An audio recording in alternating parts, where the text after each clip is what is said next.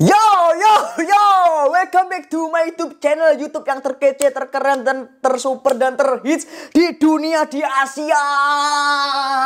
Dar. Welcome back to my YouTube channel Bacon with Ivar Taufik di konten Bacot Bola.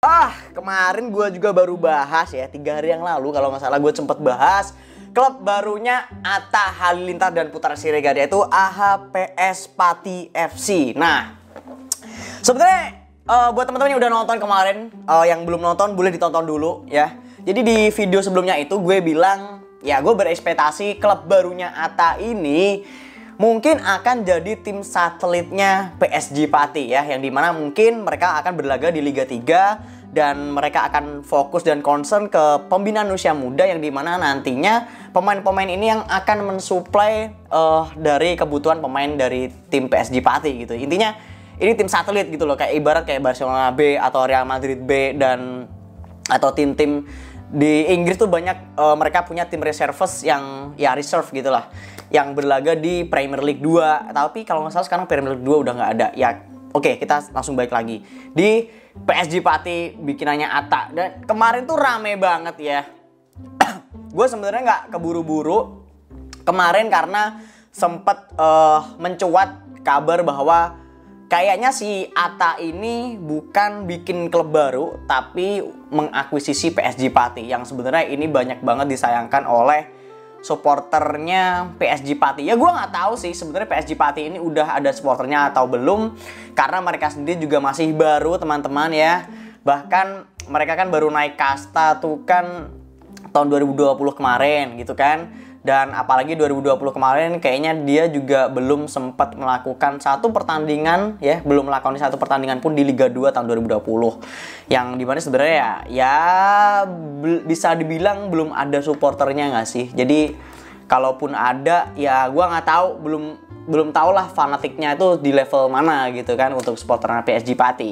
Cuman cuman cuman uh, banyak yang suka sebenarnya sama klub ini ya karena memang uh, tim ini bener-bener mencuat banget di awal tahun 2020 ya dengan pembangunan fasilitas mereka yang cukup mewah dan modern dan super lengkap ya.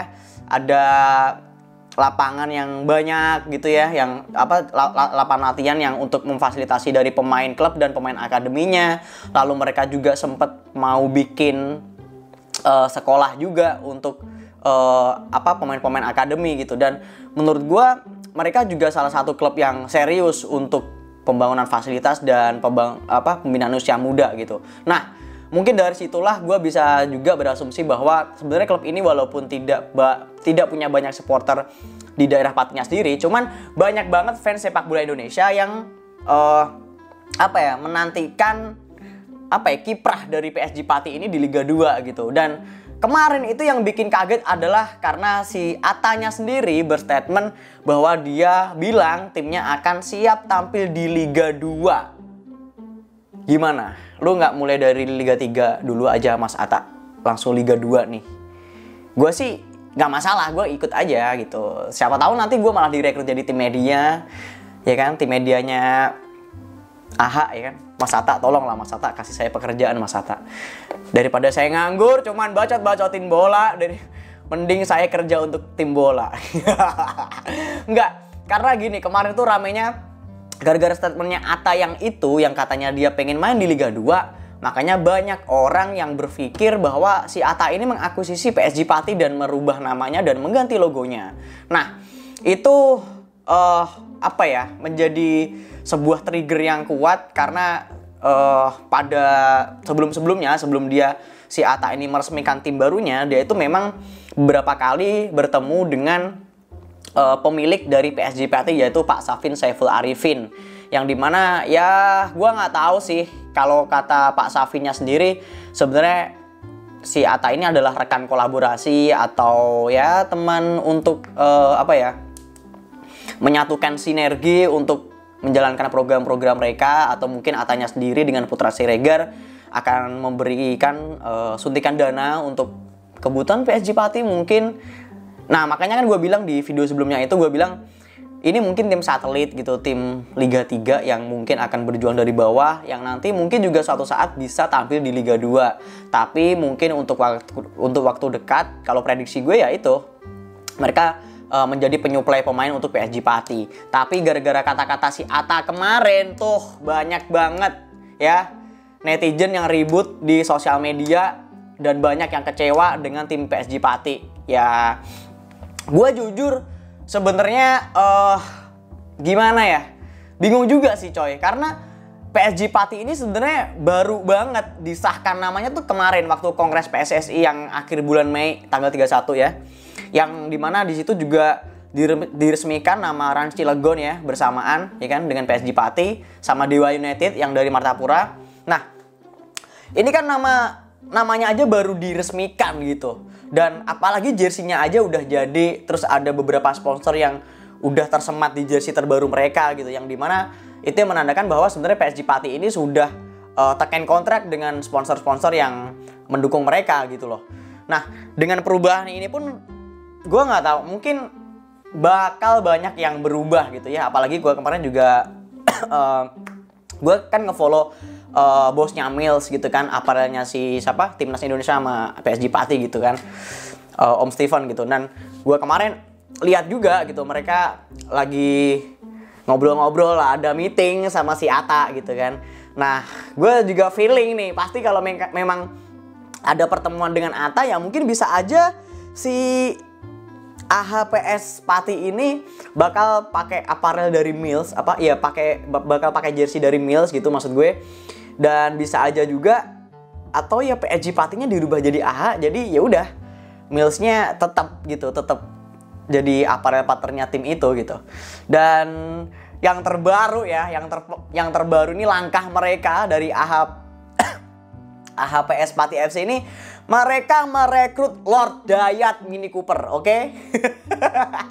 ini pemain yang sebenarnya kemarin lagi rame juga sih ya, uh, banyak banget dibully sama netizen. Kalau gue sih alhamdulillah gue nggak pernah ngebully siapa pun ya klub atau kalau gue sih ngerosting ya. Kalau ngebully gue nggak pernah. Apalagi Dayat ini gue nggak pernah gue nggak pernah ngata-ngatain Dayat sih.